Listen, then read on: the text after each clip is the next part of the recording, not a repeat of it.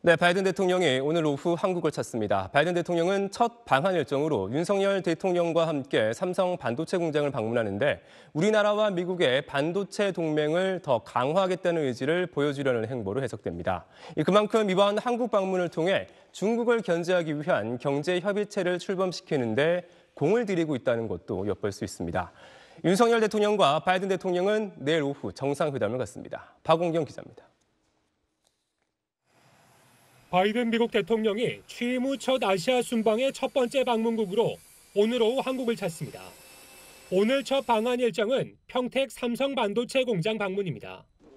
윤석열 대통령도 동행할 것으로 알려졌는데 윤 대통령 취임 10일 만에 양국 정상 간 첫 만남이 이뤄지는 겁니다. 양국 정상의 공장 방문은 반도체 공급망에 대한 협력 의지가 반영된 것으로 풀이됩니다. 내일 오후에는 서울 용산 대통령실 청사에서 한미 정상회담이 진행됩니다. 1시간 30분가량 진행될 예정인 정상회담에선 인도태평양 경제 프레임워크, IPF를 통한 공급망 등 협력과 확장 억제 전략협의체 재가동 및 활성화가 핵심 의제가 될 예정입니다. 정상회담 후 양국 정상은 기자회견을 갖고 공동선언문을 발표할 예정입니다. 이후 국내 주요 기업 총수 등이 참석하는 공식 만찬이 예정돼 있습니다. 모레 양국 정상은 안보 일정을 함께 소화할 예정인데 오상 공군기지나 평택에 있는 캠프 험프리스 방문이 유력하게 거론됩니다. 이후 바이든 대통령은 쿼드 정상회의가 열리는 일본으로 출국합니다. 어제 국가안보실은 김성한 안보실장 주재로 새 정부 출범 후 첫 NSC 상임위원회를 열고 한미 정상회담 준비 상황과 북한의 탄도미사일 발사나 핵실험 가능성 등을 점검했습니다. SBS 박원경입니다.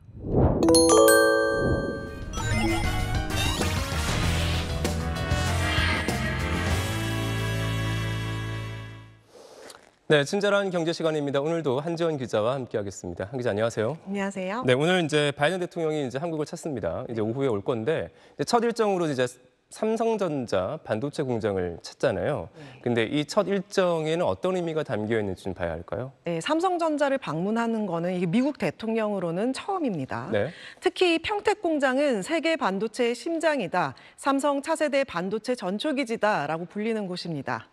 이곳을 그것도 이 첫 방문지로 선택한 건 상당히 이례적인 건데 우리나라가 미국의 주요 반도체 공급처이자 파트너인 만큼 반도체 동맹을 더 공고히 하겠다는 걸로 해석됩니다.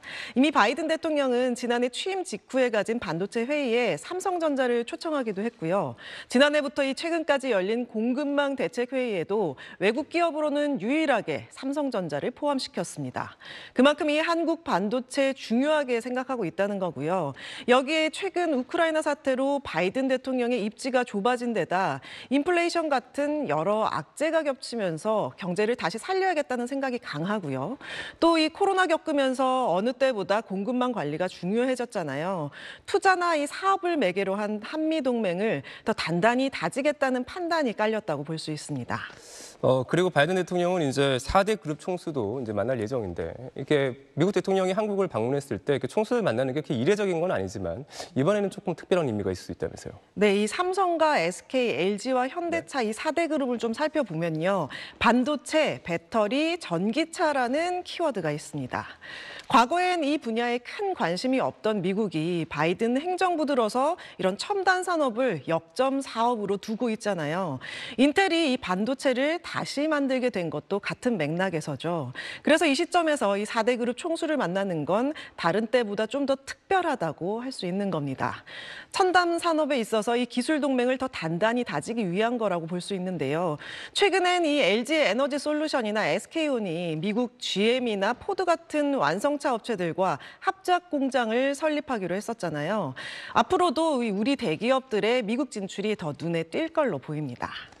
네, 지금 쭉 설명해 주신 이 바이든 대통령의 방한 일정들을 좀 보면은 바이든 대통령의 이번 방한의 목적, 뭐 여러 가지 목적이 있겠지만 그 중에 가장 큰 게 좀 중국을 견제하기 위한 거다. 이런 느낌 좀 강하게 들기는 드네요. 네. 미국과 중국 누가 이 글로벌 패권을 잡느냐 네. 아직도 지금 경쟁 중인데요.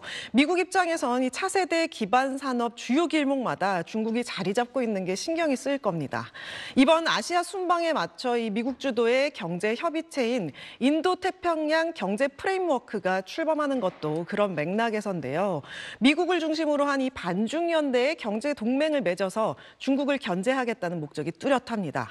최근 우리 정부도 이 출범 멤버로 참여한다는 방침을 확정했었죠. 중국이 이에 대해 공개적으로 반발하고 나섰는데요. 우리가 경제적으로 중국 의존도가 높은 만큼 중국과의 관계를 어떻게 가져가느냐가 숙제가 될 것으로 보입니다. 네, 이런 흐름이라면 이제 우리 입장에서 봤을 때는 미국과의 관계가 기존보다 좀 더 공고해질 수밖에 없는 거잖아요. 네. 특히 뭐 삼성전자 같은 경우에는 바이든 대통령이 방을 하는 것뿐만 아니라 뭐 우리나라가 이제 생산을 많이 하지만 설계 같은 것도 많이 미국에 의존하고 있고 그렇죠. 그러면 또 이제 앞으로 많은 좀더 도움을 많이 받을 수도 있을 가능성이 있는 것 같은데 이런 상황에서 삼성전자 주가는 앞으로 좀 어떻게 될 걸로 전문가들은 보고 있습니까? 이번 방안으로 이제 한미 반도체 공급망이 좀 더 강화될 거다 이런 전망이 네. 나오면서요 투자 심리에 긍정적인 영향 미칠 거란 분위기입니다. 올해 들어서 이 우크라이나 사태의 인플레이션, 중국 봉쇄까지 겹치면서 반도체 수요에 대한 불확실성이 커졌죠. 삼성전자와 이 SK 하이닉스 주가가 10% 넘게 떨어졌는데요. 하지만 이 윤석열 대통령도 반도체 초강대국을 만들겠다며 의지를 내비쳤고요. 바이든 대통령도 이 한국 기업을 유치해야 하는 상황에서 이번에 이 이해관계가 맞아 떨어진다면 깜짝 발표가 나올 수 있다는 기대감도 나오고 있습니다. 또 이 반도체주가 기업 가치에 비해 너무 떨어져서 지금이 저가 매수 기회라는 의견도 있는데요. 삼성전자의 경우 최근 외국인 투자자가 석 달여 만에 처음으로 사흘 연속 순매수에 나섰습니다. 네, 잘 들었습니다. 고맙습니다.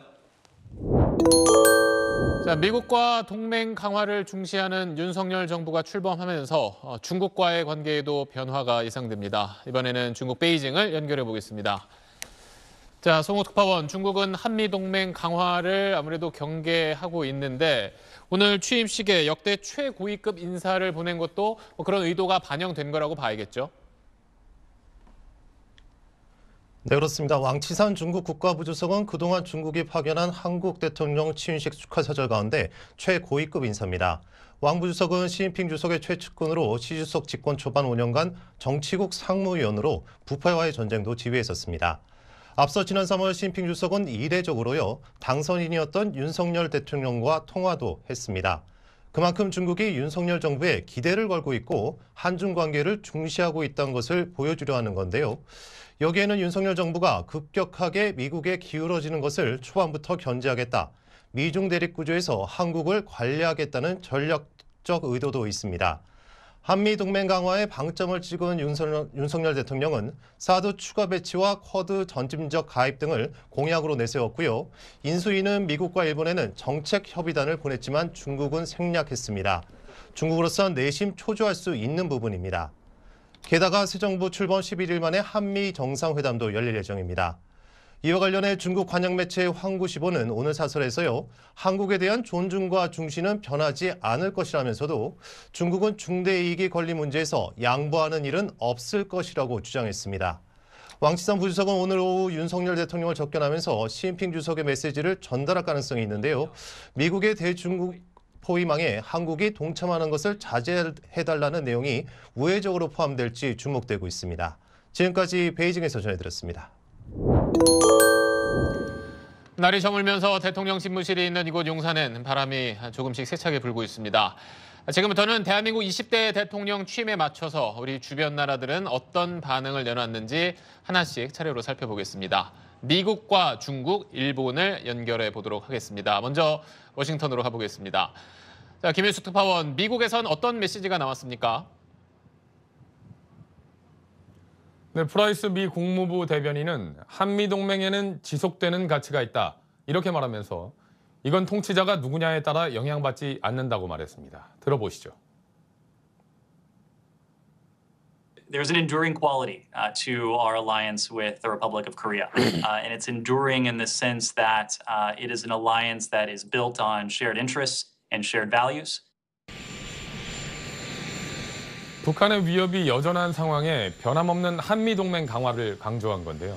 앞으로 열흘 뒤에 바이든 대통령이 한국을 방문하는데 상황이 상황이니만큼 백악관은 북한 문제가 최우선 의제가 될 거라고 밝혔습니다.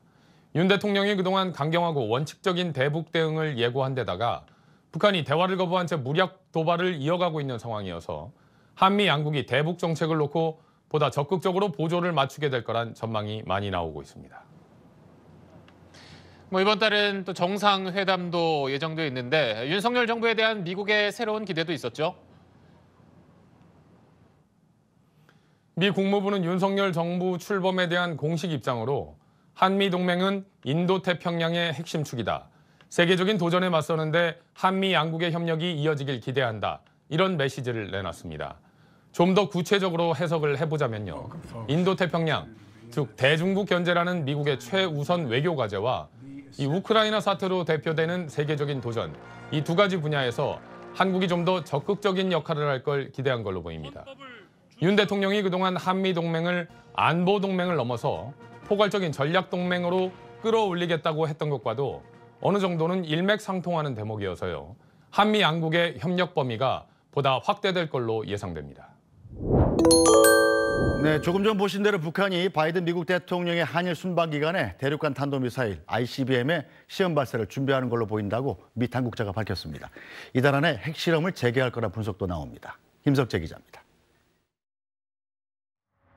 미국 CNN 방송은 미 정부의 정통한 당국자의 말을 인용해 과거 ICBM 발사 시 나타났던 징후들이 현재 북한에서 포착되고 있다고 밝혔습니다. 앞으로 48시간에서 96시간 안에 시험 발사 가능성이 있다고 덧붙였습니다. 위성 관측에서 파악된 발사 장소는 평양 근처라고 CNN은 전했습니다.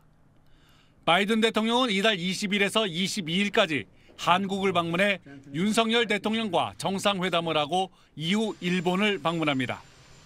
이 때문에 바이든 대통령의 한일 순방 기간에 맞춰 북한이 ICBM 시험 발사를 준비하고 있다는 분석이 나오고 있습니다. 앞서 CNN은 북한이 지하 핵실험을 재개할 가능성이 높아 미군과 정보당국이 이를 평가 중이라고 이달 초 보도했습니다. 이 평가에 따라 미국은 북한이 풍계리 핵실험장에서 이달 말까지 핵실험을 준비 중일 가능성이 있는 것으로 보고 있습니다. 미국의 싱크탱크인 전략국제문제연구소도 위성 사진을 근거로 북한 풍계리 핵실험장 3번 갱도 주변에서 지속적인 행동이 관측되고 있다며 아마도 7차 핵실험 준비 완료가 임박한 것 같다고 추정했습니다. SBS 김석재입니다.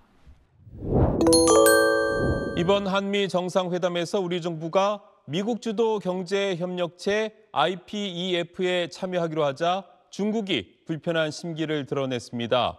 장기적으로 한국에 불이익이 될 거란 경고도 나왔습니다. 다만 당장 보복 조치에 나서지는 않을 것 같습니다. 베이징 김지성 특파원입니다. 중국은 인도 태평양 경제 프레임워크 IPEF에 대한 반대 입장을 분명히 했습니다. 미국 주도 아래 세계 공급망에서 중국을 배제하려 한다는 겁니다. 不应针对第三方或者损害第三方的利益. 관영 매체들은 특히 반도체 공급망을 언급하며 한국이 미국과 일본에 굴복하면 장기적으로 불이익이 될 것이라고 전했습니다. 삼성전자와 SK하이닉스의 중국 내 반도체 공장을 거론한 뒤 중국이 세계 최대 시장임을 내세워 중국과 협력해야 유리하다고 강조하기도 했습니다. 중국은 바이든 대통령의 방안을 앞두고 미국에도 거친 발언을 쏟아냈습니다. 양제츠 정치국원은 설리번 백악관 국가안보 보좌관과 통화해서 사리 사욕으로 각국의 이익을 해치는 행위는 통하지 않을 것이라고 말했습니다. 중국은 주권과 이익을 보호할 것이라며 우리는 한다면 한다고도 했습니다.